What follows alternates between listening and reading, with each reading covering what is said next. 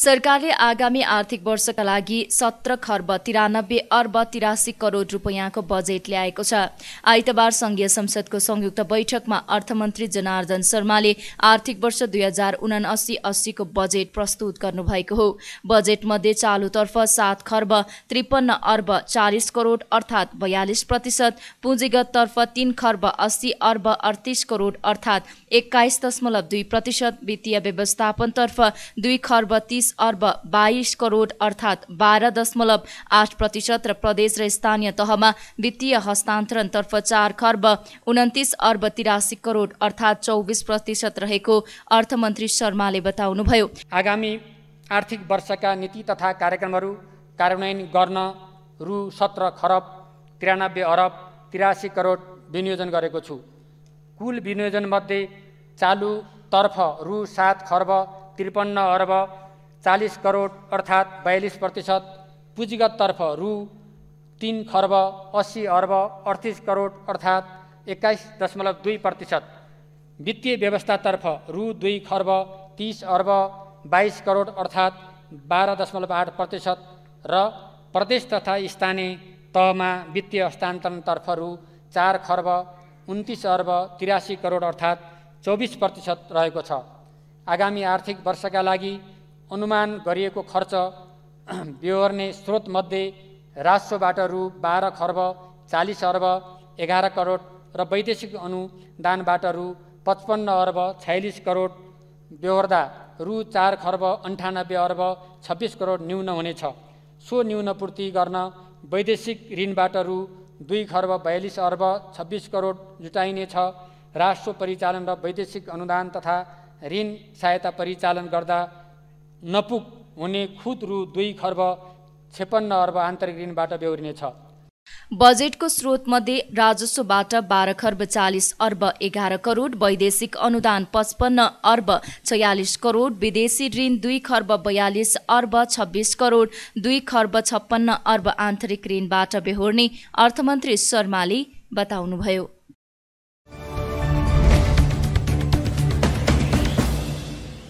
सरकारले आगामी आर्थिक वर्षका लागि स्वास्थ्य मन्त्रालयका लागि सडसठी अर्ब अडतिस करोड रुपियाँ बजेट विनियोजन गरेको छ।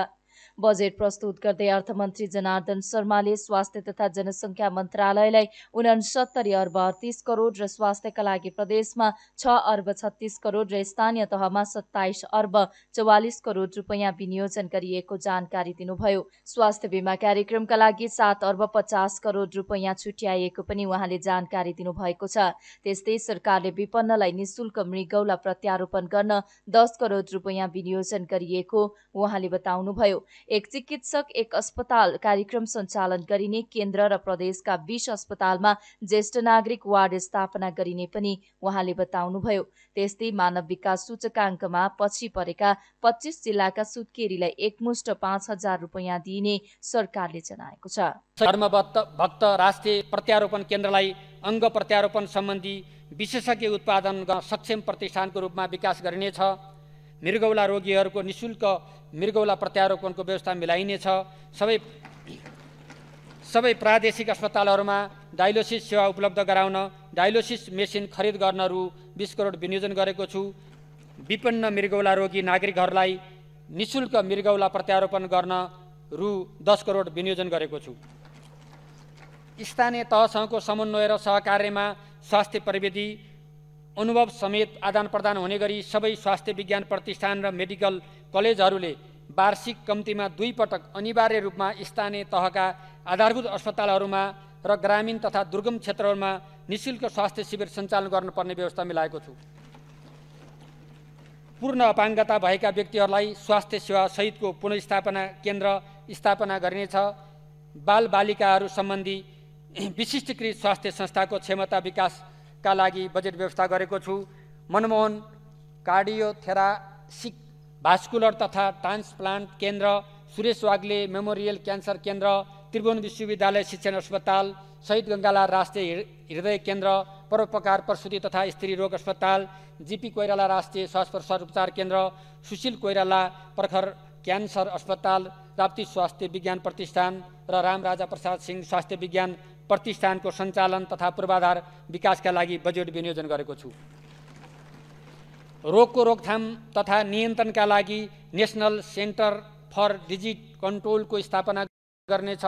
स्वास्थ्य संस्था र स्वास्थ्य सेवाहरूको गुणस्तर मापन तथा प्रमाणीकरण गर्न राष्ट्रिय स्वास्थ्य प्रत्यायन बोर्डको स्थापना गर्न आवश्यक कानुनी प्रबन्ध गरिनेछ। प्रत्येक नागरिकको स्वास्थ्य अभिलेख व्यवस्थित गर्न आगामी आर्थिक वर्षदेखि प्रमुख अस्पतालहरूमा विद्युतीय स्वास्थ्य सूचना प्रणाली स्थापना गरी क्रमशः सबै स्वास्थ्य संस्थामा विस्तार गर्दै लगिनेछ। स्वास्थ्य बिमा कार्यक्रमलाई थप व्यवस्थित र प्रभावकारी बनाउन लाभ गरेहरूलाई सामुदायिक तथा सहकारी अस्पतालबाट मात्र उक्त सेवा प्रदान गर्ने व्यवस्था मिलाइनेछ। यसका लागि सबै सामुदायिक तथा सहकारी अस्पतालहरूमा सामाजिक स्वास्थ्य इकाइ स्थापना गरिनेछ। स्वास्थ्य बिमा कार्यक्रमलाई दिगो बनाउन बिमा कम्पनी मार्फत सञ्चालन गर्न आवश्यक तयारी गरिनेछ। स्वास्थ्य बिमा कार्यक्रमको लागि रु सात अर्ब पचास करोड विनियोजन गरेको छु। व्यक्तिको खानपिन आनीबानी र व्यवहारमा सुधार गर्न शारीरिक व्यायाम योग ध्यान जस्ता क्रियाकलापलाई दैनिक जीवनचर्याको रूपमा विकास गरी सबै नागरिकको स्वस्थ जीवन सुनिश्चित गर्न स्थानीय तहसँगको सहकार्यमा सामुदायिक स्वास्थ्य शिक्षा कार्यक्रम कार्यान्वयन गरिनेछ।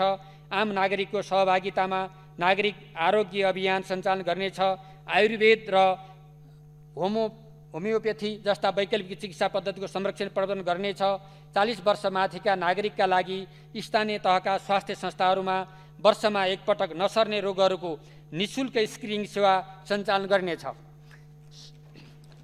शैक्षिक शैक्षिक सत्र सुरु हुनुअघि सार्वजनिक विद्यालयका सबै विद्यार्थीहरूको निशुल्क स्वास्थ्य जाँच गर्ने प्रबन्ध गर्नेछ। रक्त सञ्चार सेवालाई व्यवस्थित र सर्वसुलभ बनाउन सबै प्रदेशमा सरकारी स्वामित्वको ब्लड ब्याङ्क स्थापना गर्नेछ। सबै प्रदेशका सङ्घीय अस्पतालमा क्याथल्याब सहितको आकस्मिक मुटुरोग सेवा प्रारम्भ गर्न आवश्यक व्यवस्था मिलाएको छु। एम्बुलेन्स सेवालाई एकीकृत प्रणाली मार्फत सञ्चालन गर्ने व्यवस्था मिलाइनेछ। शारीरिक तथा मानसिक अपाङ्गता भएका व्यक्तिहरूका लागि प्रत्येक प्रदेशमा एक एकवटा पुनर्स्थापना तथा प्रशामक केन्द्र स्थापना गरिनेछ। व्यवसायजन्य स्वास्थ्य प्रवर्धन तथा रोग नियन्त्रण योजना तर्जुमा गरी कार्यान्वयनमा ल्याइनेछ स्वास्थ्य तथा जनसङ्ख्या मन्त्रालयको लागि रु. उनासत्तरी अर्ब अडतिस करोड विनियोजन गरेको छु। स्वास्थ्य क्षेत्रको लागि प्रदेशमा रु. छ अर्ब छत्तिस करोड र स्थानीय तहमा रु. सत्ताइस अर्ब चौवालिस करोड हस्तान्तरण गरेको छु। सबै प्रादेशिक अस्पतालमा मृगौला डायलोसिस सेवा दिइने र त्यसका लागि डायलोसिस मेसिन खरिद गरिने अर्थमन्त्री शर्माले बताउनुभयो।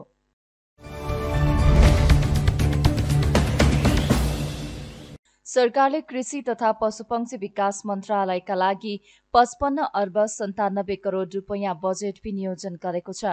आइतबार संघीय संसदको संयुक्त बैठकमा आर्थिक वर्ष दुई हजार उनासी अस्सीको बजेट प्रस्तुत गर्दै अर्थमन्त्री जनार्दन शर्माले कृषि तथा पशु पंक्षी विकासका लागि पचपन्न अर्ब सन्तानब्बे करोड रुपियाँ विनियोजन गरिएको जानकारी दिनुभयो। उहाँले धान मकै गहुँ र तरकारीको आयात तीस प्रतिशतले घटाइने बताउनुभयो। त्यस्तै बाँझो र उपयोगविहीन कृषि सहकारीलाई लिजमा उपलब्ध गराइने सबै ओडामा कृषि प्राविधिकको व्यवस्था न्यूनतम समर्थन मूल्य तोकेर कृषि उपज सरकारले खरिद गरिदिने उहाँले बताउनुभयो।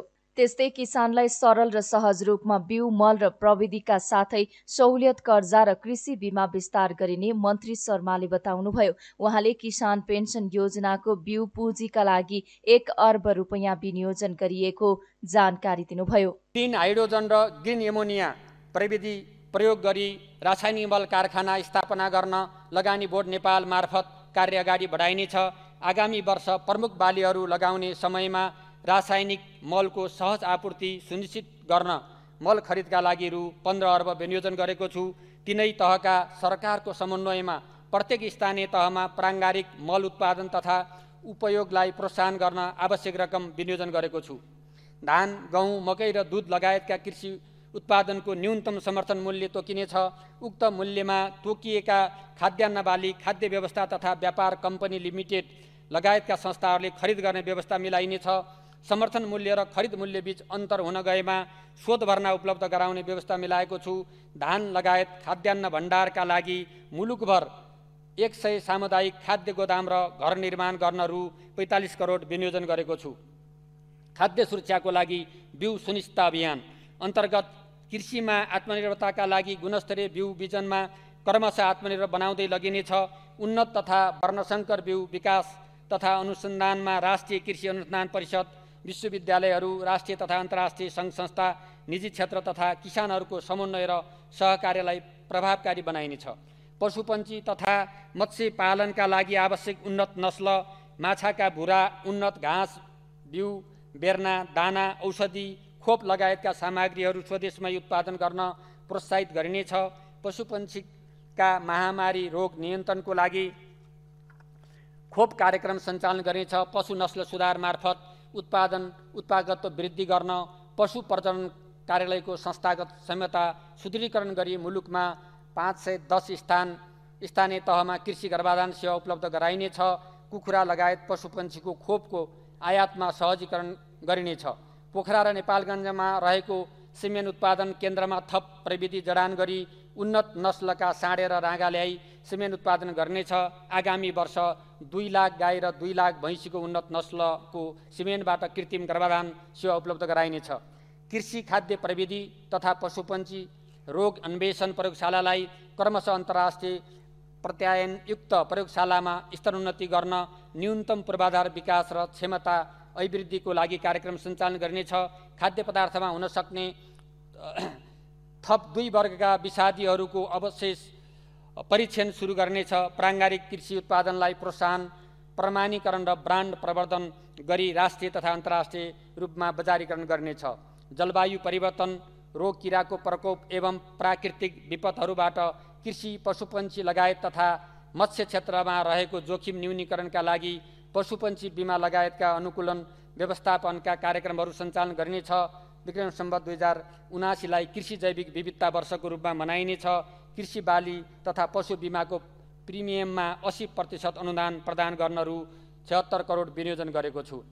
नगदे बाली खेती गर्न किसानहरूलाई उत्प्रेरित गरिनेछ नेपाल सरकारले उखु किसानलाई उपलब्ध गराउने अनुदान रकम उखु क्रसिङ भएकै वर्ष उपलब्ध गराइनेछ उखुको जातीय विकास गर्न उखु अनुसन्धान कार्यक्रम प्राथमिकताका साथ सञ्चालन गर्नेछ। चिनी उत्पादनमा मुलुकलाई आत्मनिर्भर बनाउन उखु बालीका अतिरिक्त सुगर बिट्स समेतको उत्पादन गर्न कार्यक्रम सञ्चालन गर्नेछ। उखु किसानलाई अनुदान उपलब्ध गराउन रु एकासी करोड विनियोजन गरेको छु। प्रत्येक प्रदेशमा ठुला र मध्यम आकारका मोडिफाइड एटमोस्फियर कोल्ड स्टोर खोल्ने व्यवस्था मिलाइनेछ। चोबार स्थित फलफुल तथा पुष्प बजार सञ्चालनमा ल्याइनेछ रूपन्देहीको कर्साघाटमा आधुनिक कृषि उपज निर्यात बजार निर्माण कार्य सुरु गर्नेछ कृषि तथा वन विश्वविद्यालय तथा अन्य कृषि क्याम्पसहरूले आफ्ना विद्यार्थीहरूलाई अध्ययन अनुसन्धानका अतिरिक्त अनिवार्य रूपमा उत्पादनमूलक कृषि तथा पशुपालन फर्महरूमा प्रयोगात्मक अध्ययन गराउने व्यवस्था मिलाइनेछ जलवायु परिवर्तन अनुकूलन कार्यक्रम अन्तर्गत मुगु जुम्ला कालीकोट जिल्लाका जलवायु तथा खाद्य सङ्कटान्न सङ्कटासन्न बासिन्दाहरूको जीविकोपार्जन सुधार र अनुकूलन क्षमता अभिवृद्धि गर्ने कार्यक्रम सञ्चालन गरिनेछ। कर्णाली प्रदेशमा रैथाने बाली तथा जैविक खेतीको संरक्षण र विकास गर्नुका साथै कृषिको आधुनिकरण व्यवसायीकरण विविधीकरण र विशिष्टीकरण माध्यमबाट उत्पादन र उत्पादकत्व वृद्धि मूल्य श्रृङ्खला विकासमा सहलगानी सामुदायिक कृषि पूर्वाधार विकास एवं कृषि उपजको बजारीकरणमा सहयोग गर्न कृषि क्षेत्र विकास कार्यक्रम कार्यान्वयन गरिनेछ। कृषि तथा पशुपन्छी विकास मन्त्रालयको लागि रु पचपन्न अर्ब सन्तानब्बे करोड विनियोजन गरेको छु। उहाँले नगदे बाली खेती गर्न किसानलाई प्रोत्साहन गरिने बताउनुभयो। त्यस्तै कृषि रूपान्तरणमा काम गर्ने स्थानीय तहलाई थप पाँच करोड अनुदान दिने पनि अर्थमन्त्री शर्माले बताउनुभयो।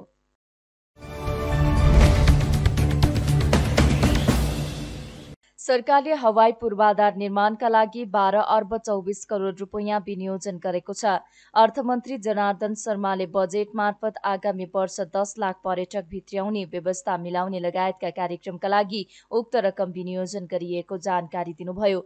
कोभिडबाट प्रभावित होटल व्यवसायलाई इजाजत र नवीकरण दस्तुर छुट दिने उहाँले बताउनुभयो। त्यस्तै उहाँले निजगढ विमानस्थलको ढाँचा निर्माण गरी लगानी बोर्डबाट आयोजना विकास कार्य अगाडि बढाउने पनि बताउनुभयो भने गौतम बुद्ध र पोखरा विमानस्थललाई पूर्ण रूपमा सञ्चालनमा ल्याउने बताउनुभयो अन्तर्राष्ट्रिय विमानस्थल निर्माणको लागि ढाँचा निर्माण गरी लगानी बोर्ड नेपाल मार्फत आयोजना विकास कार्य अगाडि बढाइनेछ। गौतम बुद्ध अन्तर्राष्ट्रिय विमानस्थल र पोखरा अन्तर्राष्ट्रिय विमानस्थल पूर्ण रूपमा सञ्चालनमा ल्याइनेछ। त्रिभुवन अन्तर्राष्ट्रिय विमानस्थलको चापलाई व्यवस्थित गर्न ट्याक्सीवे थप र दोस्रो टर्मिनल भवन निर्माणका लागि रु दुई अर्ब बिस करोड विनियोजन गरेको छु। हवाई तथा यात्रु चापको विश्लेषणको आधारमा गौतम बुद्ध अन्तर्राष्ट्रिय विमानस्थलको दोस्रो टर्मिनल भवन निर्माण कार्य अगाडि बढाइनेछ। धनगढी विमानस्थललाई स्तरोन्नति गरी क्षेत्रीय विमानस्थलको रूपमा विकास गर्न सम्भाव्यता अध्ययन गरिनेछ।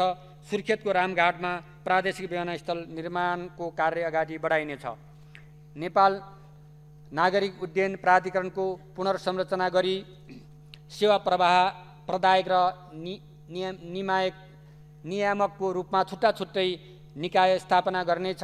आन्तरिक हवाई सेवाको गुणस्तर अभिवृद्धि गर्न र पहुँच विस्तार गर्न डरेलधुरा बागलुङको बलेवा दाङ टरीगाउँ टिकापुर चौधारी लगायतका विमानस्थलको स्तरोन्नति गर्नेछ। यसै गरी उदयपुर विमानस्थलको निर्माण कार्य प्रारम्भ गर्नेछ। हवाई पूर्वाधार विकासका लागि रु. बाह्र अर्ब चौबिस करोड त्यस्तै भूमि व्यवस्था सहकारी मन्त्रालयका लागि सात अर्ब चार करोड रुपियाँ विनियोजन गरिएको उहाँले बताउनुभयो। घर जग्गा मूल्याङ्कन प्रणालीलाई व्यावहारिक बनाई एकीकृत घर जग्गा मूल्याङ्कन प्रणाली विकास गरिने उहाँले बताउनु भएको छ। सहकारी क्षेत्रको बचतलाई उद्यम विकास उत्पादनमूलक क्षेत्र तथा रोजगारी सिर्जनामा परिचालित गर्न प्रोत्साहित गरिनेछ। सहकारीको कुल लगानीको कम्तीमा पचास प्रतिशत रकम उत्पादनमूलक क्षेत्रमा परिचालन गर्नुपर्ने व्यवस्था मिलाइनेछ। सहकारी संस्थाले कम्तीमा एउटा स्वदेशी उत्पादनको खरिद बिक्री र बजारीकरणमा सहयोग गर्ने व्यवस्था मिलाइनेछ। कम्तीमा रु बिस करोड चुक्ता पुँजी रहने गरी कृषिजन्य उत्पादनमूलक उद्योग स्थापना गर्ने सहकारीलाई नेपाल सरकारले चुक्ता पुँजीको पाँच प्रतिशत रकम पुँजीगत अनुदान प्रदान गर्ने व्यवस्था मिलाएको छु। स्थानीय तहले सो पुँजी लगानी गरी कम्तीमा तिन सय स्थानीय किसानहरूको सहभागितामा कृषिजन्य उत्पादनमूलक उद्योग स्थापना गरेमा त्यस्ता उद्योगहरूमा आवश्यक मेसिनरी औजार खरिदमा बिस प्रतिशत अनुदान प्रदान गर्ने व्यवस्था मिलाएको छु। विक्रम सम्बत दुई हजार उना पचास साल अघि सञ्चालनमा रहेका साझा संस्थाहरूको सम्पत्ति र दायित्व यकिन गरी सोको संरक्षण व्यवस्थापन गर्नेछ। यी संस्थाहरूबाट ऋण लिएका किसानहरूको ऋण मिना गरी धितो रहेका जग्गाको रोक्का फुकुवा गर्नेछ।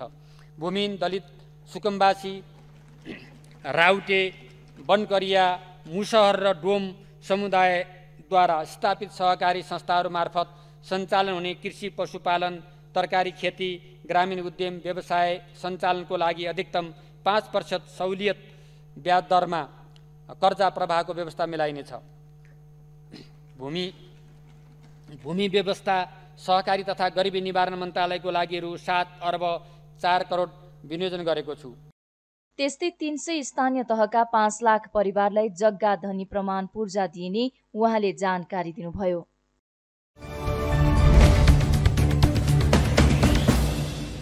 सरकारले उद्योग वाणिज्य तथा आपूर्ति मन्त्रालयका लागि दस अर्ब अडचालिस करोड रुपियाँ विनियोजन गरेको छ। आइतबार संघीय संसदको संयुक्त बैठकमा आर्थिक वर्ष दुई हजार उनासी अस्सीको बजेट प्रस्तुत गर्दै अर्थमन्त्री जनार्दन शर्माले उद्योग वाणिज्य तथा आपूर्तिका लागि उक्त बजेट विनियोजन भएको जानकारी दिनुभएको हो। बजेट मार्फत सरकारले विदेशी लगानीको न्यूनतम सीमा पुनरावलोकन गरी दुई करोड रुपियाँ कायम गरिएको छ भने उत्पादनमूलक र निर्यातजन्य उद्योगमा वैदेशिक लगानी र गैर नेपालीको लगानी भित्र्याइने अर्थमन्त्री शर्माले बताउनुभयो। त्यस्तै उहाँले औद्योगिक पूर्वाधार तयार गर्न तीन अर्ब उनासी करोड रुपियाँ विनियोजन गरिएको जानकारी दिनुभयो।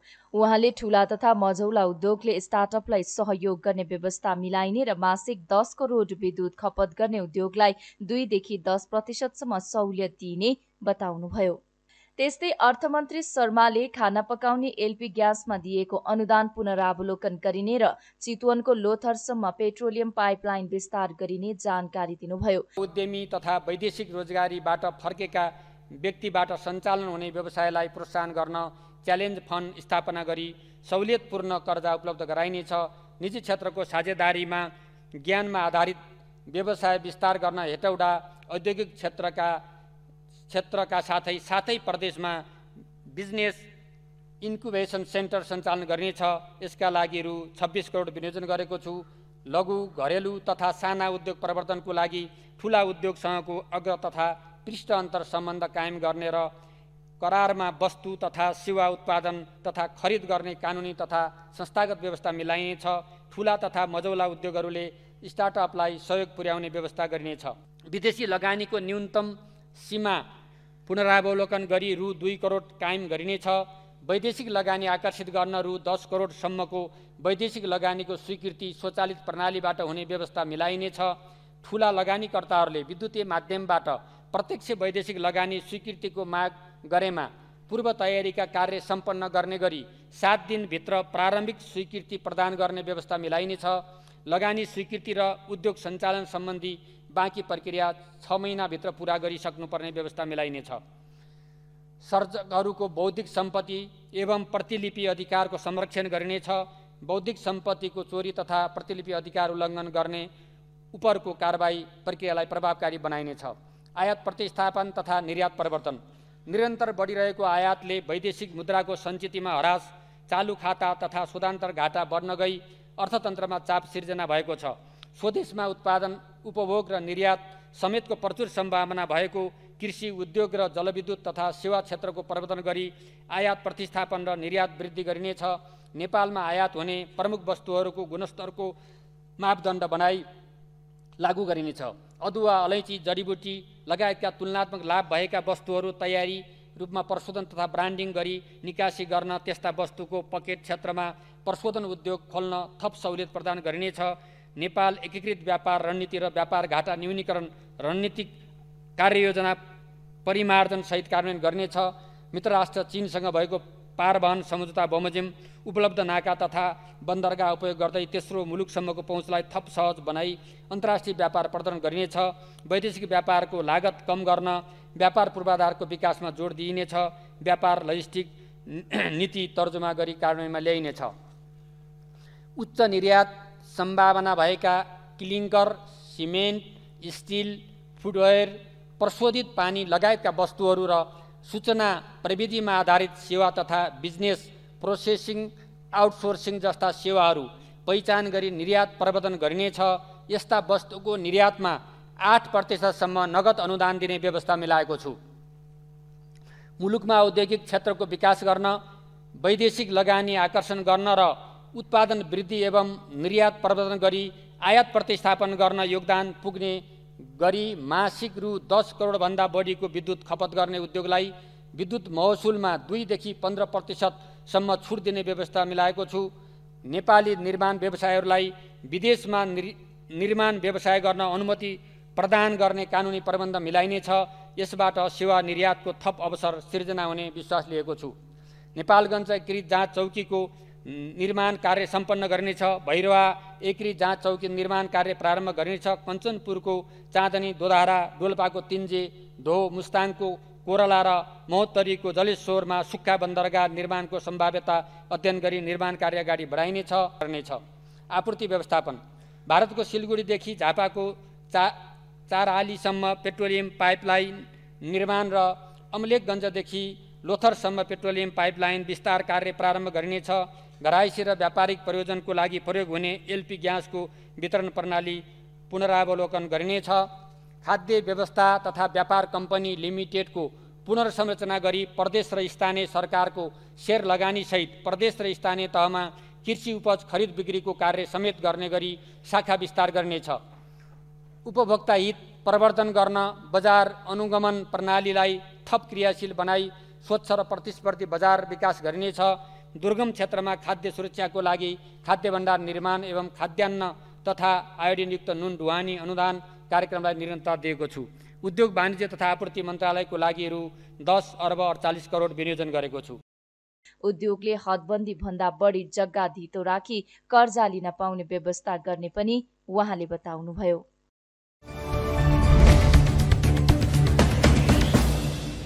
सरकारले शिक्षा विज्ञान तथा प्रविधि मन्त्रालयका लागि सत्तरी अर्ब पाँच करोड रुपियाँ विनियोजन गरेको छ। शिक्षाका लागि प्रदेशमा पाँच अर्ब बत्तीस करोड र स्थानीय तहमा एक खर्ब एक्काइस अर्ब एक करोड रुपियाँ विनियोजन गरिएको अर्थमन्त्री जनार्दन शर्माले जानकारी दिनुभयो। उहाँले प्राविधिक शिक्षाको तालिमका लागि आठ अर्ब तीस करोड रुपियाँ विनियोजन गरिएको बताउनुभयो। आगामी आर्थिक वर्षमा कक्षा छसम्मका विद्यार्थीलाई दिवा खाजाको व्यवस्था गरिने र राष्ट्रपति शैक्षिक सुधार कार्यक्रम अन्तर्गत एक हजार दुई सय विद्यालयका लागि प्राविधिक भवन बनाइने उहाँले बताउनुभयो। गुणस्तरीय स्वास्थ्य शिक्षा सेवाको विस्तार गरी प्रादेशिक सन्तुलन कायम गर्न विश्वविद्यालयहरूसँगको सहकार्यमा प्रदेश सरकार र अन्तर्गतका अस्पतालहरूमा मेडिकल कलेज स्थापना गर्ने नीति लिइनेछ। बुटोल मेडिकल कलेज र लुम्बिनी प्रादेशिक अस्पताल सुर्खेत मेडिकल कलेज र कर्णाली प्रादेशिक अस्पताल कर्णाली स्वास्थ्य विज्ञान प्रतिष्ठान र चौजारी सामुदायिक अस्पताल तथा गेटा मेडिकल कलेज र सेती तथा महाकाली अस्पताल बिचको सहकार्यमा सम्बन्धित विश्वविद्यालय अन्तर्गत मेडिकल कलेज सञ्चालन गर्ने व्यवस्था मिलाइनेछ।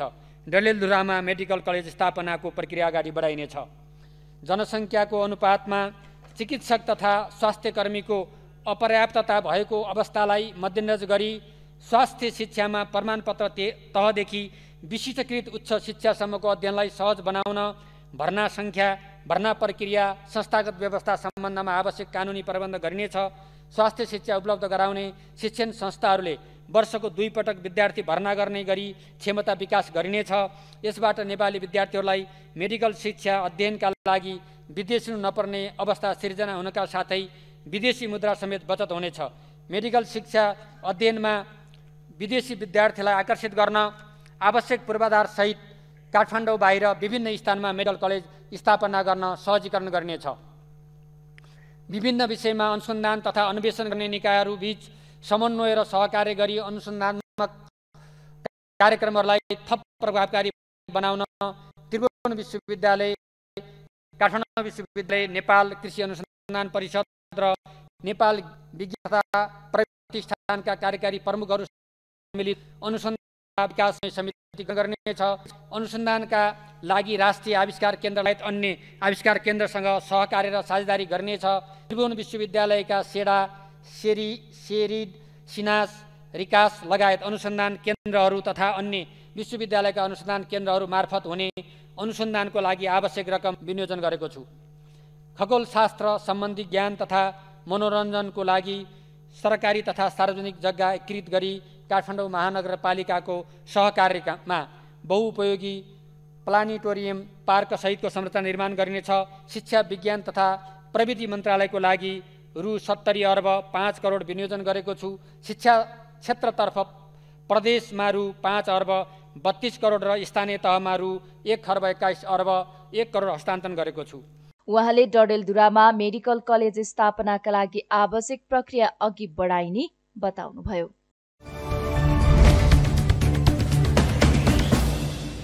सरकारले आगामी आर्थिक वर्षका लागि युवा तथा खेलकुद मन्त्रालयका लागि दुई अर्ब छयालिस करोड रुपियाँ बजेट विनियोजन गरेको छ। अर्थमन्त्री जनार्दन शर्माले आगामी आर्थिक वर्षको बजेट सदनमा पेश गर्दै उक्त रकम छुट्याइएको जानकारी दिनुभएको हो। उहाँले खेल पूर्वाधारका लागि सतासी करोड रुपियाँ विनियोजन गरिएको जानकारी दिनुभयो। मूलपानी क्रिकेट मैदान आगामी आर्थिक वर्षमा निर्माण सम्पन्न गर्ने र किर्तिपुरमा रात्रिकालीन खेल खेल्न मिल्ने बनाइने उहाँले बताउनुभयो।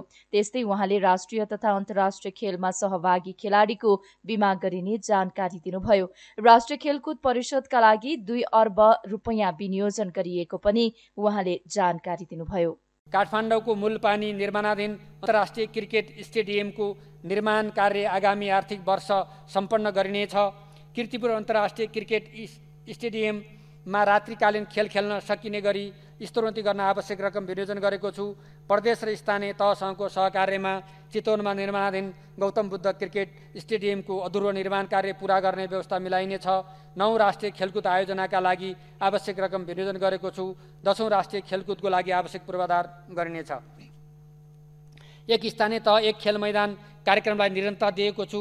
बाँकेको कोहलपुरमा महिला क्रिकेट एकाडेमी तथा रङ्गशाला निर्माणका लागि आवश्यक बजेट विनियोजन गरेको छु। धनगढीको फाप्लामा अन्तर्राष्ट्रिय मापदण्ड अनुसारको क्रिकेट रङ्गशाला तथा खेल ग्रामको निर्माण गरिनेछ।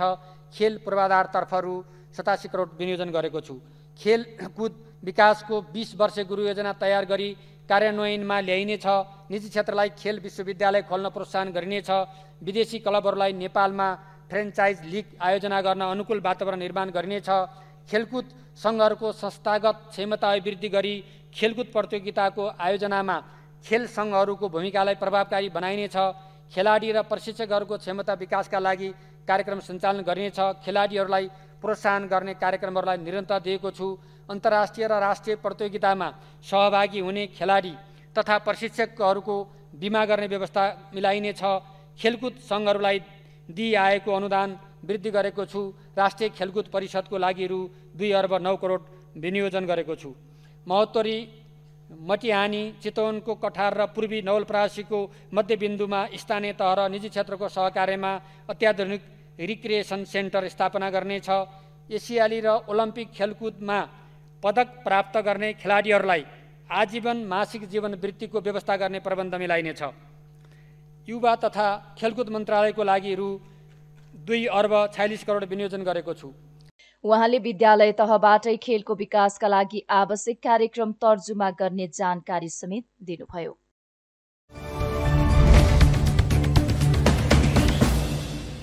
जेठ पन्ध्र गते अर्थात् नेपालमा गणतन्त्र स्थापना भएको दिन आइतबार विशेष कार्यक्रम गरी मनाइएको छ। काठमाडौँको टुडीखेल स्थित सैनिक मञ्चमा पन्ध्र गणतन्त्र दिवसका अवसरमा विशेष समारोह आयोजना गरिएको हो। समारोहमा राष्ट्रपति विद्यादेवी भण्डारी उपराष्ट्रपति नन्दबहादुर पुन प्रधानमन्त्री शेरबहादुर देउबा कायम मुकायम प्रधान न्यायाधीश दीपक कुमार कार्की प्रतिनिधि सभाका सभामुख अग्निप्रसाद सापकोटा र राष्ट्रिय सभाका अध्यक्ष गणेश तिमल सिन्हा लगायतको उपस्थिति रहेको थियो भने नेपाली सेनाको हेलिकप्टरबाट पुष्प वृष्टि समेत गरिएको छ। त्यस्तै शान्तिका प्रतीक परेवा पनि उडाइएको छ। कार्यक्रममा नेपाली सेना नेपाल प्रहरी र सशस्त्र प्रहरी बलका टुकडीले मार पास गरेका थिए। कार्यक्रमलाई सम्बोधन गर्दै प्रधानमन्त्री देवालले यसै वर्ष प्रतिनिधि सभा र राष्ट्रिय सभाको चुनाव समेत सफलताका साथ सम्पन्न गरी मुलुकमा जनउत्तरदायी गणतन्त्रात्मक शासन व्यवस्थालाई थप सुदृढ गर्न सरकार प्रतिबद्ध रहेको बताउनुभयो। त्यस्तै उहाँले समृद्ध मुलुक निर्माणका लागि सबै राजनीतिक दल र नेपाली जनताबीच एकता र सहकारी हुन जरुरी रहेको धारणा पनि राख्नुभयो। प्रधानमन्त्री देउबाले मुलुकमा राजनीतिक स्थिरता कायम भई देश आर्थिक समृद्धिको यात्रातर्फ अघि बढेको बताउनुभयो। आज मुलुकले ठुलो फड्को मारेको छ। हामीले सङ्घीय शासन प्रणाली सहितको गणतन्त्रात्मक शासन गरेका छौँ। यसको लागि हजार सात सालको राजनीतिक क्रान्तिदेखि साल पैँसठी त्रिसठी साल आन्दोलनको ठुलो भूमिका रहेको छ जनताका लामो समय समयसम्मको सङ्घर्ष त्याग बलिदानबाट प्राप्त लोकतान्त्रिक गणतन्त्रात्मक सङ्घीय शासन प्रणालीलाई सुदृढ गर्दै नेपालीलाई नेपाललाई एक समुन्नत समृद्ध मुलुकको रूपमा अघि बढाउनु पर्ने दायित्व हाम्रो काममा आएको छ त्यो दायित्वलाई हामी सबै मिलेर पुरा गर्नुपर्ने खाँचो छ सङ्घीय लोकतान्त्रिक गणतन्त्रमा गणतन्त्रात्मक शासन व्यवस्थाको संस्थागत विकासका लागि सबै राजनीतिक दल नेपाली जनता बिच एकता सहकारी हुनु जरुरी छ। लोकतन्त्रमा राजनीतिक दलका फरक फरक धारणा र विचारहरू हुनु स्वाभाविक हो। तापनि महत्त्वपूर्ण राष्ट्रिय मुद्दामा सबै राजनीतिक दल र आम जनताका समान अविचलित धारणा हुन सके मात्रै मुलुकलाई विकासको पथबाट अगाडि बढाउनु राष्ट्रिय एकताको जगलाई थप बनाउन सकिन्छ। नेपालमा गणतन्त्र स्थापना भएको आज चौध वर्ष पुरा भएको छ यस अवधिमा जनताका प्रतिनिधिहरूले देखेको संविधान जारी भएको छ संविधान अनुसार सा शासन प्रणालीमा सबै जनताको अर्थपूर्ण सहभागिता स्वामित्व स्थापित भएको छ नागरिक स्वतन्त्रता उनीहरूको पूर्ण प्रत्यावर्तन भएको छ नारीले बिना कुनै बन्देज सामाजिक आर्थिक सामाजिक क्रियाकलापमा स्वतन्त्र रूपमा सहभागी हुने अवसर पाएका छन् मुलुकमा राजनीतिक स्थिरता कायम भई देश आर्थिक समृद्धिको यात्रामा अघि बढिरहेको छ हामीले जुन अपेक्षा र उद्देश्यका साथ लोकतान्त्रिक साथको शासन गणतन्त्रात्मक शासन व्यवस्थाको स्थापना गरेका थियौँ व्यवहारमा लागू भएको छ नागरिकहरूको अधिकारको पूर्ण सुनिश्चितता गर्दै मुलुकलाई आर्थिक सामाजिक रूपमा सबल समृद्ध राष्ट्रको लागि जनताका जीवनस्तरमा उल्लेखनीय सुधार ल्याउने हाम्रो प्रयासले अपेक्षित परिणाम दिन थालिसकेको छ मुलुकको आर्थिक सामाजिक रूपान्तरणका अभियानमा हामी सबै योगदान उत्तिकै आवश्यक आवश्यक रहेको छ नेपाली जनताले पटक पटक नागरिकहरूको अधिकार प्राप्तका लागि गरेको सङ्घर्ष केवल गणतन्त्र र राजनीतिक स्वतन्त्रता प्राप्तिको लागि मात्र सीमित थिएन राजनीतिक परिवर्तन मार्फत आर्थिक सामाजिक अवस्था सुधार गरी नेपाललाई एउटा विश्व विश्वको एउटा समृद्ध मुलुकको रूपमा स्थापित गर्ने उद्देश्य पनि थियो सोही कुरालाई वर्णन गरी हामी सबैले राजनीतिक परिवर्तनलाई अर्थतन्त्रको सबलीकरण र सामाजिक रूपान्तरणमा सहयोग हुने गरी अघि बढाउन आवश्यक छ नेपालमा विक्रमसम्म दुई हजार पैँसठी जेठ पन्ध्र गते निरङ्कुश राजतन्त्रको विधिवत अन्त्य गर्दै सङ्घीय लोकतान्त्रिक गणतन्त्रात्मक शासन व्यवस्था प्रारम्भको घोषणा भएको थियो। त्यही दिनको सम्झनामा हरेक वर्ष जेठ पन्ध्र गते गणतन्त्र दिवस मनाउने गरिन्छ।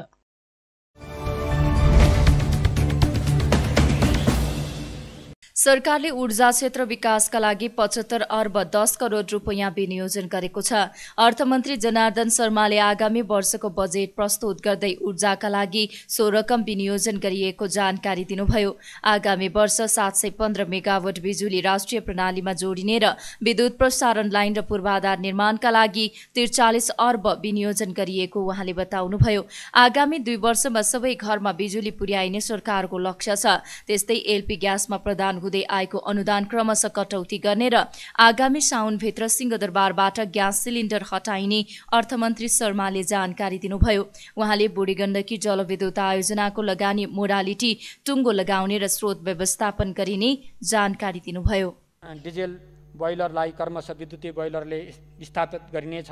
राष्ट्रिय तथा अन्तर देशीय विद्युत प्रसारण लाइनको सुदृढीकरण विस्तार एवं स्तरोन्नति गरी विद्युत प्रसारण एवं वितरण प्रणालीलाई प्रभावकारी र भरपर्दो बनाइनेछ। नदी बेसिनमा आधारित चार सय केबी स्तरका कर्णाली कोरिडोर भेरी कोरिडोर र अरुण कोरिडोर प्रसारण लाइनको सार्वजनिक निजी साझेदारीमा वित्तीय स्रोत सुनिश्चित गरी निर्माण प्रक्रिया अगाडि बढाइनेछ। बुटोल गोरखपुर चार सय केबी प्रसारण लाइन निर्माण आरम्भ गरिनेछ। बुटोल लमई दोधारा खण्डको चार सय केबी एवं लप्सी फेदी रातामाटे हेटौडा र रातामाटे दमौली बुटोल चार सय केबी प्रसारण लाइन निर्माण कार्य अघि बढाइनेछ। आगामी आर्थिक वर्षमा पाँच हजार आठ सय त्रिचालिस एमभिए क्षमताको सब स्टेसनको निर्माण कार्यहरू सम्पन्न गरिनेछ। पूर्व पश्चिम सात सय पैँसठी केबी क्षमताको प्रसारण लाइन निर्माणको सम्भाव्यता अध्ययन गरिनेछ। विद्युत प्रसारण लाइन तथा सब स्टेसन निर्माणको लागि रु त्रिचालिस अर्ब पन्चानब्बे करोड विनियोजन गरेको छु। एलपी ग्यास छोडौँ बिजुली जोडौँ। भन्ने अभियान सञ्चालन गरिनेछ खाना पकाउने इन्धनको रूपमा प्रयोग हुने दाउरा गुइठा र एलपी ग्यासलाई प्रतिस्थापन गर्न बायोग्यास विद्युतीय चुलो सुधारिएको चुलो तथा अन्य उपयुक्त आधुनिक एवं किफायती प्रविधिको व्यापक रूपमा प्रवर्तन गरी करिब एक लाख घरधुरीमा खाना पकाउने स्वच्छ ऊर्जाको पहुँच पुर्याइनेछ एलपी ग्यासमा प्रदान हुँदै आएको अनुदान क्रमशः कटौती गरी विद्युत उपयोगमा अनुदान प्रदान गर्ने नीति लिएको छु। सिंहदरबार परिसरबाट आगामी साउन महिनाभित्र ग्यास सिलिन्डर विस्थापित गरी विद्युतीय चुलो उप उपयोग गर्नुपर्ने व्यवस्था मिलाएको छु। आगामी तिन महिनाभित्र महानगर उपमहानगरपालिकाभित्रका सबै सार्वजनिक कार्यालय र निवासहरूलाई ग्यास सिलिन्डर मुक्त गराई क्रमशः विद्युतीय चुलो प्रयोगलाई देशव्यापी बनाइनेछ। विद्युत सेवा प्रवाहमा सूचना प्रविधिको प्रयोग गर्ने नीति अनुरूप काठमाडौँ उपत्यकाबाट प्रारम्भ भएको स्मार्ट मिटर जडान कार्यलाई क्रमशः विस्तार गरिनेछ। विपन्न वर्गलाई निशुल्क विद्युतीय मिटर जडान गर्ने कार्य र बिस युनिटसम्म विद्युत खपत गर्ने आधारभूत वर्गको ग्राहकहरूलाई निशुल्क विद्युत उपलब्ध गराउने कार्यलाई निरन्तरता दिएको छु। काठमाडौँ उपत्यकामा आगामी तिन वर्षभित्र विद्युत वितरण पूर्वाधार सबल बनाई एलपी ग्यास र पेट्रोलियम पदार्थको उपयोग उल्लेख्य रूपमा घटाइनेछ कृषिमा आत्मनिर्भर हुन सिँचाइ कार्यमा खपत हुने विद्युतमा सहुलियत प्रदान गरिनेछ। जलाशयुक्त जलविद्युत आयोजना निर्माणका लागि बाँध र विद्युत गिरह छुट्टा छुट्टै प्रवर्धन प्रवर्धकबाट निर्माण गर्ने गरी निजी क्षेत्रलाई लगानी गर्न आकर्षित गर्नेछ। नेपाल विद्युत प्राधिकरणबाट जलाशय निर्माण गरी जम्मा भएको पानी विद्युत गिरह तथा अन्य सहायक संरचना निर्माण र सञ्चालन गर्ने प्रबन्ध प्रबन्धक कम्पनीलाई शुल्क लिई उपलब्ध गराउने व्यवस्था मिलाइनेछ। जलाशयुक्त बाँधको बहुपयोग गरी प्रतिफल दर बढाइनेछ। विद्युत प्रसारण लाइन विस्तारको लागि निजी लगानीमा समेत आयोजनाहरू प्रवर्तन गर्नेछ। विद्युत आयोजनाको प्रवर्तकले आयोजना स्थलदेखि सब स्टेसनसम्म प्रसारण लाइन निर्माण गरेमा लागतको पचहत्तर प्रतिशतसम्म शोध भर्ना उपलब्ध गराउने व्यवस्था मिलाइनेछ। नेपाल विद्युत प्राधिकरणको क्रेडिट रेटिङ भइसकेको सन्दर्भमा प्राथमिक निष्कासन मार्फत प्रिमियम सहितको सेयर सर्वसाधारणलाई समेत जारी गर्ने प्रबन्ध गर्नेछ। उक्त सेयर विनिवेश विनिवेशबाट प्राप्त रकम जलाशयुक्त आयोजना निर्माण लगायत ऊर्जा पूर्वाधार निर्माणमा लगानी गरिनेछ। नेपालको इन्धन र ऊर्जा उपभोग एवं यातायात र औद्योगिक क्षेत्रको समग्र विकासमा योगदान गर्न सक्ने गरी हाइड्रोजन र ऊर्जाको व्यावसायिक उपयोग गर्न आवश्यक कार्य प्रारम्भ गरिनेछ। ऊर्जा क्षेत्र विकासको लागि रु पचहत्तर अर्ब दस करोड विनियोजन गरेको छु।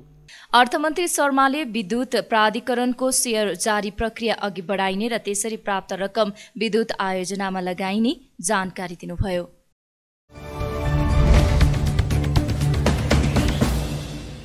आगामी आर्थिक वर्षका लागि भौतिक पूर्वाधार मन्त्रालयमा एक खर्ब एकसठी अर्ब छप्पन्न करोड रुपियाँ बजेट विनियोजन गरिएको छ। आइतबार संघीय संसदको संयुक्त बैठकमा आर्थिक वर्ष दुई हजार उनासी अस्सीको बजेट प्रस्तुत गर्दै अर्थमन्त्री जनार्दन शर्माले पूर्वाधारमा उक्त रकम विनियोजन गरिएको जानकारी दिनुभयो। उहाँले काठमाडौँको चार भन्ज्याङ चार सुरुङ बनाउनका लागि सम्भाव्यता अध्ययन गरिने बताउनुभयो। सरकारले रेलवे र मेट्रो रेलका लागि छ अर्ब र सडक मर्मत सम्भारका लागि सात अर्ब रुपियाँ विनियोजन गरेको छ। कोटेश्वर र नयाँ बानेश्वरमा अन्डरपास सुरु गरिने जानकारी दिँदै अर्थमन्त्री शर्माले कलङ्की महाराजगञ्ज चक्रपथ विस्तारका लागि एक अर्ब रुपियाँ विनियोजन गरिएको जानकारी दिनुभयो। उहाँले नौ विसे मुगलिन सडकका लागि दस अर्ब मदन भण्डारी राजमार्गका लागि दुई अर्ब पूर्व पश्चिम राजमार्गका लागि तीस करोड र फास्ट ट्र्याकका लागि तीस अर्ब रुपियाँ विनियोजन गरिएको जानकारी दिनुभयो। निर्वाचन क्षेत्र रणनीतिक सडक कार्यक्रमलाई निरन्तरता दिएको छु। यसका लागि रु. सात अर्ब विनियोजन गरेको छु। काठमाडौँ उपत्यकाको सवारी चापलाई व्यवस्थापन गर्न चक्रपथ विस्तार आयोजना अन्तर्गत कलङ्की नारायण गोपाल चोक सडक खण्डको विस्तारको लागि रु. एक अर्ब विनियोजन गरेको छु। अर्नीको राजमार्गको सूर्य विनायक धुलीखेल सडकको चार लेनमा विस्तार तथा स्तोन्नति गर्ने कार्य सुरु गर्नेछ। उपत्यकामा हाल सञ्चालनमा रहेका सडक विस्तार योजनाहरूलाई सम्पन्न गरिनेछ। काठमाडौँ उपत्यकाको ग्वारको सात दोपट्टा र एकान्त कुनामा फ्लाइओभर र कोटेश्वर तथा नयाँ बानेश्वरमा अन्डरपास निर्माणको कार्य सुरु गरिनेछ। सिस्ने खोला नागढुङ्गाको सुर्गमार्ग आगामी आर्थिक वर्षभित्र खोलिनेछ। नागढुङ्गा सुरुङमार्ग निर्माण आयोजनाको लागि रु पाँच अर्ब बिस करोड विनियोजन गरेको छु। सिद्धार्थ राजमार्गको बुटवल पाल्पा सडकमा पर्ने सिद्ध बाबा खण्डमा सुरुङ मार्ग निर्माणको कार्य सुरु गर्नेछ। दुम्कीबास बर्दघाट कुलेखानी भीमफेदी खुरकोट चियाबारी मजिमटार शक्तिखोर ढुङ्गा इमिल्चा खोला सुर्खेत रानीघाट भुरीगाउँ सुरुङ मार्गको अध्ययन कार्य सम्पन्न गरिनेछ। चार भन्ज्याङ चार सुरुङ मार्गको अवधारणा अन्तर्गत काठमाडौँ उपत्यकाका बाँकी तिन भन्ज्याङतर्फ टोखा छरे गोदावरी पनौती सागा बनेपा खण्डको सुरुङ मार्ग निर्माणका लागि सम्भाव्यता अध्ययन गरिनेछ।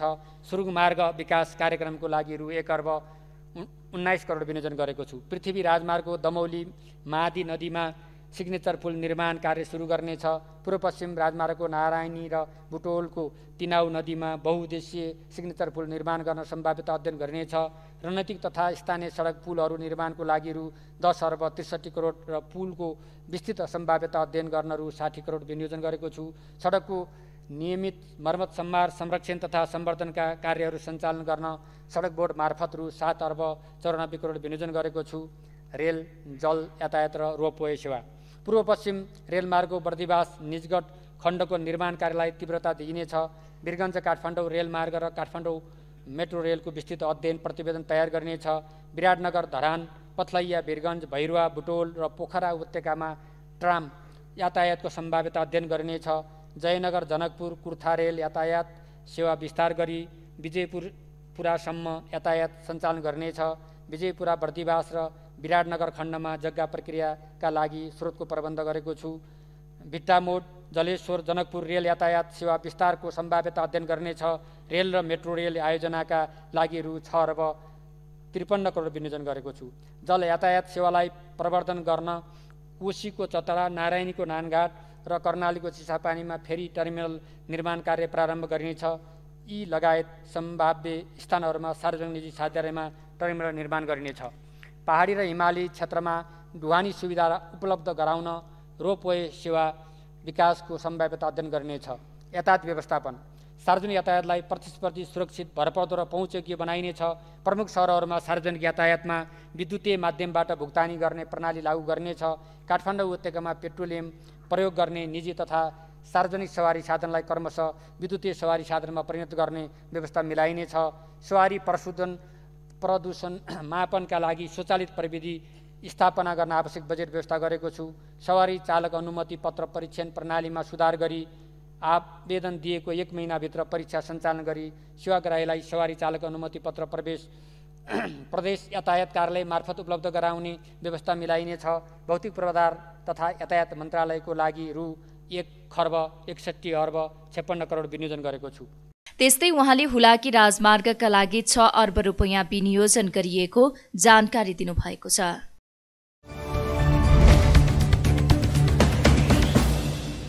पूर्व प्रधानमन्त्री एवं जसपाका संघीय परिषद अध्यक्ष डाक्टर बाबुराम भट्टराईले वृद्ध भत्ता नलिने घोषणा गर्नुभएको छ।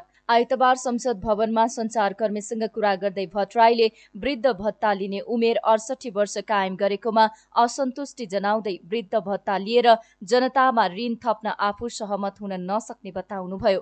सरकारले वृद्ध भत्ता नलिनेलाई सम्मान गर्ने बजेटमा घोषणा गरेको थियो।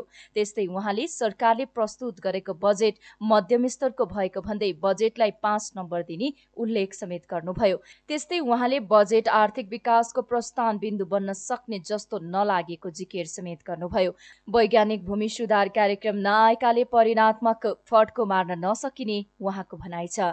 मध्यम स्तरको बजेट भन्ने ठाने हाम्रै गठबन्धन सरकारको भएको हुनाले यसले मेरो मूल्याङ्कनमा पाँच नम्बर त प्राप्त गर्छ तर यो प्रस्थान बिन्दु बन्नेछ नेपालको आर्थिक रूपान्तरणको। भन्ने जुन अपेक्षा थियो त्यो प्रस्थान बिन्दु चाहिँ त्यति बन्न सक्छ जस्तो मलाई लाग्दैन। कृषिमा दिएका प्राथमिकता त्यहाँ ल्याएका नयाँ योजना प्रशंसनीय छन्। त्यसरी नै विद्युतको चाहिँ बढी प्रसार गरेर हाम्रो व्यापार घाटालाई कम गर्ने इन्धनलाई जोगाउने जस्ता कुरा लगायतका कुरा सकारात्मक छन् र केही करहरूमा छुट दिएर लगानीलाई प्रवर्धन गर्ने कुराहरू पनि सकारात्मक नै छन्। तर गुणात्मक महत्त्वका संरचनात्मक परिवर्तन ल्याउने ढङ्गका नीतिहरू चाहिँ आएनन् जस्तै कृषि क्षेत्रमा तपाईँले क्रान्तिकारी परिवर्तन गर्ने हो भने भूमि सम्बन्धमा जुन वैज्ञानिक भूमि सुधार गर्ने हामीले भनेका थियौँ त्यस सम्बन्धी कार्यक्रम आउनुपर्छ। त्यो नगरेसम्म भूमिमा जनताको पहुँच नपुगेसम्म यो ठुलो परिवर्तन आउँदैन। त्यसले उद्योगलाई वृद्धि गर्ने हामीले व्यापार घाटा घटाउने भनेका छौँ। त्यसको निम्ति देशभित्रको पुँजी परिचालन र लगानी आकर्षित गर्ने एउटा गुणात्मक प्रकृतिका योजनाहरू आउनु पर्थ्यो। त्यस्तो केही पनि आएन। सामान्य सुधारात्मक कुरा पनि यति मात्र कुरा गरेर वैदेशिक लगानी ठुलो मात्रामा आउँछ उद्योग धन्दा खुल्छन् र हाम्रो व्यापार घाटा घट्छ भन्ने मलाई लाग्दैन। त्यसो भएको हुनाले मैले समग्रमा भन्न चाहेँ त्यसरी नै प्रशासनिक सुधारका नि सामान्य कुरा त छन् तर जुन हाम्रो ब्युरोक्रेसी न्याय प्रशासन विकास मैत्री छैन यसलाई परिवर्तन गर्ने ढङ्गका जुन रूपान्तरणकारी ढङ्गका योजना आउनु पर्थ्यो त्यो पनि आएका छैनन्। र सामाजिक सुरक्षा जस्ता विषयहरूमा पनि निरन्तरताको कुरा छन्। एउटा कुरा मैले भन्नै पर्छ म पनि अब अडसट्ठी वर्ष पुग्दैछु। यो घटाउन आवश्यक थिएन। मेरो विचारमा यस्तो छरिएका सामाजिक सुरक्षा भन्दा एकीकृत प्रकारको सामाजिक सुरक्षा आउनु पर्थ्यो। त्यसले उयो पुरानै ढङ्गले आयो। त्यसले स्वेच्छाले म यो अडसट्ठी वर्ष पार गरिसकेको मान्छे हुनाले त्यो वृद्ध भत्ता मैले पनि पाउने भएँ। म यो गरिब देशको चाहिँ वृद्ध भत्ता ग्रहण गरेर जनतामा चाहिँ बोझ थपर्न चाहन्न त्यो चाहिँ म नलिने घोषणा गर्दछु। धन्यवाद। त्यस्तै एमाले नेता खगराज अधिकारीले बजेटमा विश्वसनीयता नरहेको र कार्यान्वयन गर्न नल्याएको तर्क गर्नुभयो। बजेटले मुलुकको आर्थिक समस्या समाधान गर्न नसकेको उहाँको भनाइ छ। बजेट मार्फत स्वास्थ्य बिमा प्राइभेट कम्पनीलाई दिएर जनस्वास्थ्यमाथि गम्भीर खेलवाड गरेको उहाँले बताउनुभयो। यो यो बजेटमा कुनै विश्वसनीयता छैन। यो कार्यान्वयन गर्न ल्याएको बजेट पनि होइन। यो बजेटले आर्थिक जुन सङ्कटापन्न अवस्था छ त्यसलाई कुनै सम्बोधन गर्न सकेन। र यसले नयाँपन केही पनि दिएन। र जो वित्तीय सङ्कटहरू छन् ती सङ्कटलाई सम्बोधन गर्न सकेन। र विकास परियोजनाहरूका सम्बन्धमा समेत यसले जुन उचाइका साथ सम्बोधन गर्नुपर्ने थियो त्यो गर्न सकेन र वित्तीय अनुशासन कायम गर्न पनि सकेन। र हुँदा हुँदा त अब हामी रमाइलो मान्यौँ। हामीलाई त कनिका छरेको भन्थे होइन? वृद्ध भत्ताको कुरा अहिले उमेर चाहिँ नै अडसट्ठी बनाउनु भएछ एकहत्तर वर्ष औषध आयु भयो त्यस कारणले उहाँहरूले यो अहिले जुन गठबन्धनको न दिशा छ न गन्तव्य छ न उद्देश्य छ तपाईँ अरू धेरै टाढा जान परेन। स्वास्थ्य बिमा जो वास्तवमा पूर्ण सरकारी स्वास्थ्य बिमा कार्यक्रम हो अब गगनजी के भन्नुहुन्छ हेर्न बाँकी छ। मैले नै त्यो स्वास्थ्य बिमा कार्यक्रम सुरु गरेको अहिले प्राइभेट कम्पनी लिमिटेडलाई दिएर जनस्वास्थ्यमाथि गम्भीर खेलवाड गरेर एक सय उन्चालिसवटा औषधिहरू मेरो पालामा मैले गरेको थिएँ अहिले घटायो त्यो पनि तपाईँले देख्नुभयो। त्यसैले कुनै पनि सामाजिक सुरक्षाको क्षेत्रमा या उत्पादनको क्षेत्रमा आर्थिक उत्पादकको क्षेत्रमा र यो वित्तीय विचलन भएको क्षेत्र र जुन हामीले भुक्तानी सन्तुलनलाई कायम गर्ने कुरामा समेत यसले कुनै सम्बोधन गर्न सकेन र मुलुकको आर्थिक सङ्कट र अब बिस्तारै यति धेरै यसका प्रतिफलहरू आउनेछन् कि जो हामीले अनुमानै गर्न नसकेको ठाउँमा पुग्दैछ। त्यसैले यो आर्थिक सङ्कटलाई यसले कुनै पनि सम्बोधन गर्न सकेन बेरोजगारलाई रोजगार दिने कुरा पनि केही गर्न सकेन र यसले गेम चेन्जर परियोजनाहरूलाई पनि कुनै सम्बोधन गर्न सकेन। धन्यवाद। अधिकारीले आर्थिक उत्पादन तथा भुक्तानी सन्तुलनमा समेत बजेटले सम्बोधन गर्न नसकेको जिकिर गर्नुभयो।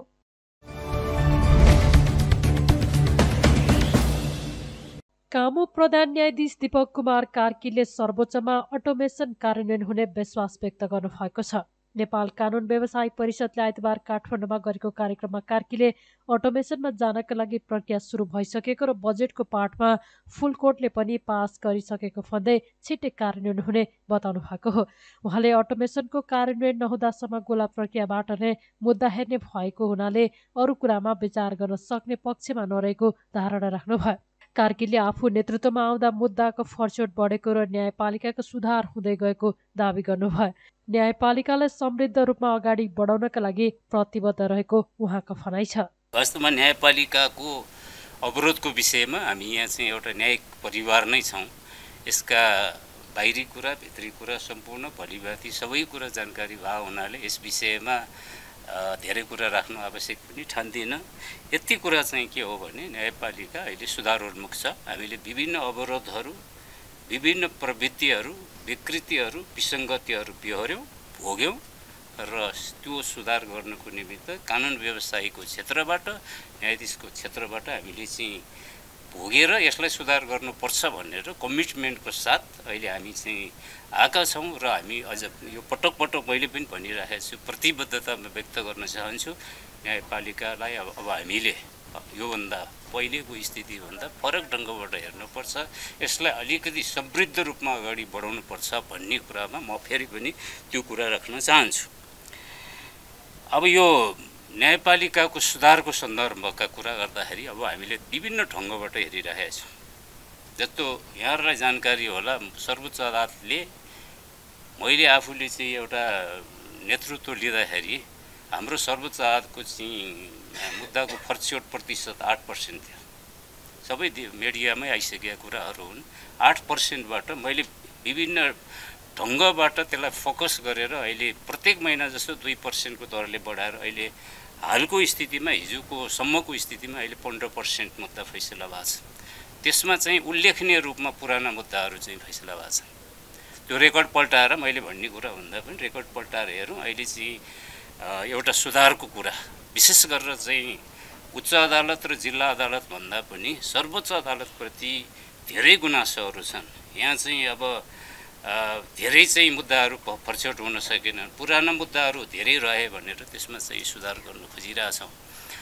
अब यो कतिपय चाहिँ कुरा गोलाको कुराले पनि समस्या ल्या भन्ने छन् होइन? अब त्यो गोलाको विकल्प अहिले हामी तत्काल चाहिँ जान सक्ने अवस्था पनि छैन। हरिकृष्ण कार्की श्रीमानको चाहिँ एउटा प्रतिवेदनले पनि एउटा अटोमेसनमा जाने हो। त्यो अटोमेसनमा नग नजाँदासम्म अटोमेसनको कारण नहुँदासम्म हामी गोला प्रक्रियाबाटै चाहिँ मुद्दा चाहिँ हेर्ने भयो हुनाले अहिले हामी अरू अरू कुरामा चाहिँ विचार गर्न सक्ने पक्षमा छैनौँ र अटोमेसनमा जानको लागि एउटा प्रक्रिया पुरा चाहिँ एउटा सुरु भइसकेको छ। त्यसको बजेटिङ पार्टमा हामीले फुल कोर्टले पनि पास गरिसकेर अर्थ मन्त्रालयमा बजेटको माग गरिसकेका छौँ र अटोमेसन चाहिँ कार्यान्वयन हुन्छ भन्ने मलाई लाग्छ। अब यो न्यायपालिका सुधारको क्रममा यो न्याय परिषदको भूमिका असाध्यै महत्त्वपूर्ण हुन्छ। न्यायाधीशको नियुक्तिको विषय यहाँहरूले नै धेरै प्रश्न उठाउनु भएको छ। यो विषयमा हामी गम्भीर छौँ। न्याय परिषदको एउटा अध्यक्षको हैसियत लिएर परिषदको सदस्यको हिसाबले पनि हामी गम्भीर छौँ। एउटा कानुन मन्त्री हुनुहुन्छ। अब यही क्षेत्रबाट यही ठाउँबाट चाहिँ जानुभएको छ। अहिले प्रतिनिधित्व गरिरहनु भएको छ। उहाँकै एउटा अध्यक्षतामा एउटा चाहिँ समिति गठन भएको छ। अब bar association Nepal bar association सर्वोच्च बार एसोसिएसन र महान्याधिवक्ताज्यू पनि हुनुहुन्छ। उहाँहरूबाट यो समितिको तर्फबाट एउटा सुझाव पनि मागेको छ। र सुझावको सन्दर्भमा एउटा चाहिँ परिषदलाई एउटा उचित मार्गदर्शन हुने गरेर एउटा सुधारको एउटा बाटो देखिने गरेर एउटा पारदर्शी ढङ्गे ढङ्गबाट न्याय परिषदले नियुक्ति गर्ने हिसाबले सुझावहरू दिनुहोस् भन्ने म यहाँ चाहिँ अपेक्षा राख्न म यहाँहरू कुरा कुरा राख्न पनि चाहिँ चाहन्छु। उहाँले न्यायपालिकाको सुधारका लागि सरकारवाला सबैको सहयोग आवश्यक पर्ने धारणा राख्नुभयो।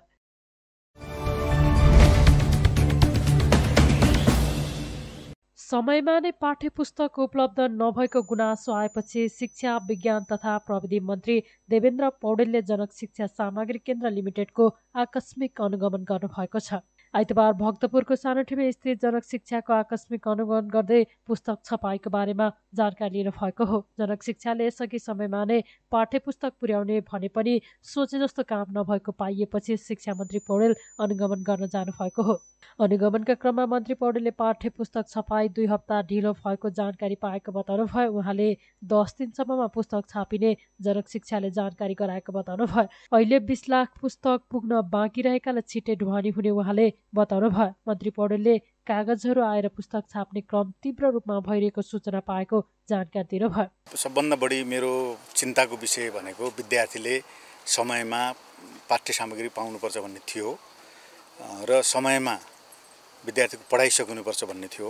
समयमा इक्जाम हुनुपर्छ भन्ने थियो र छ। समयमा परीक्षा रिजल्ट निस्कनुपर्छ भन्ने थियो र छ।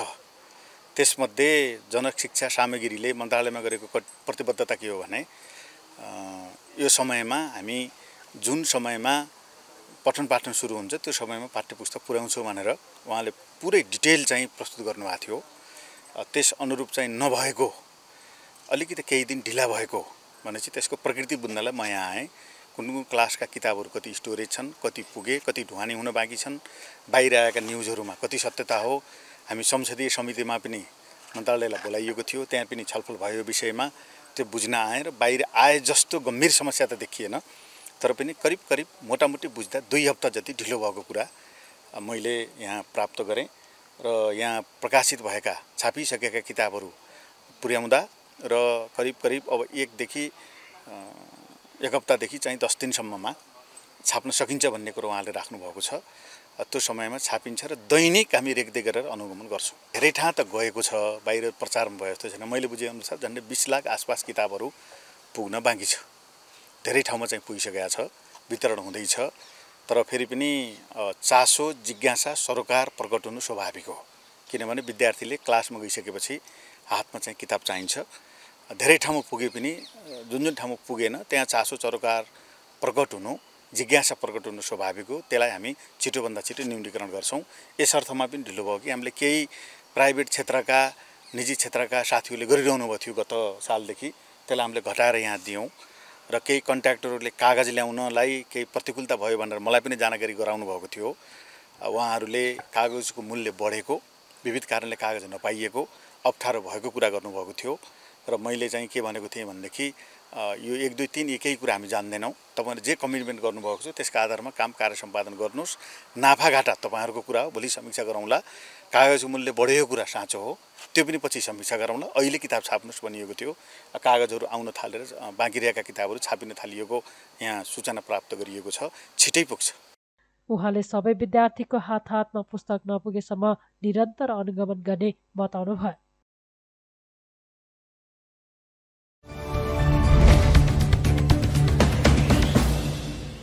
लुम्बिनी प्रदेशका मुख्यमन्त्री कुलप्रसाद केसीले सङ्घीय लोकतान्त्रिक गणतन्त्रलाई अझै बलियो र मजबुत बनाउँदै सबैको पहुँचमा विकास पुर्याउनु पर्ने बताउनु भएको छ। पन्ध्रौँ गणतन्त्र दिवसका अवसरमा लुम्बिनी प्रदेश सरकारले आइतबार बुटौलमा आयोजना गरेको कार्यक्रममा केसीले सबैको मेहनत योगदानबाट आएको सङ्घीय लोकतान्त्रिक गणतन्त्रलाई अझै बलियो र मजबुत बनाउँदै लैजानुपर्ने बताउनु भएको हो। त्यस्तै उहाँले जनताको जीवनमा सार्थक र सकारात्मक परिवर्तन ल्याउन नसक्दासम्म गणतन्त्रको वास्तविक प्राप्तिको अनुभूति हुन नसक्ने जिकिर गर्नुभयो। प्रबन्धमा भइरहेको ढिला सुस्ती अस्थिरता यावत कठिनाइका बावजुद यो गणतन्त्र दिवस समारोहको दोस्रो प्रतिनिधिहरूको कार्यकालका लागि गुणात्मक कोसेढुङ्गा साबित गर्न प्रदेश सरकार सङ्कल्प गर्दछ। यति ठुलो बलिदान त्याग तपस्याबाट स्थापना गरिएको सङ्घीय लोकतान्त्रिक गणतन्त्रात्मक व्यवस्थालाई दृश्य वा अदृश्य बाह्य वा आन्तरिक रूपमा केही शक्तिहरूले कमजोर पार्ने गणतन्त्र र सङ्घीयतालाई अलग थलग गर्ने लोकतन्त्र र संविधानलाई धज्जी उडाउन खोज्ने र वितृष्णाको व्यापार गर्न खोज्ने केही प्रतिगमनकारी तत्त्वको धृष्टता गरिरहेका छन्। यसलाई भर्खरै सम्पन्न स्थानीय तहको निर्वाचनको माध्यमबाट देशव्यापी रूपमै एकै दिन एकै समयमा सही संवैधानिक प्रावधान अनुसार सम्पन्न गरेर आम जनताको जनमतबाट प्रतिवाद र आफ्नो मजबुत एकता प्रदर्शन गरिसकेका छन्। तिन तहको शासकीय परिपाटी पूर्ण स्थापित र व्यवस्थित भएको छ। एकात्मक प्रणालीको सोच र दृष्टिमा हुर्किएको खराबी उन्मूलनीकरण भएको छ।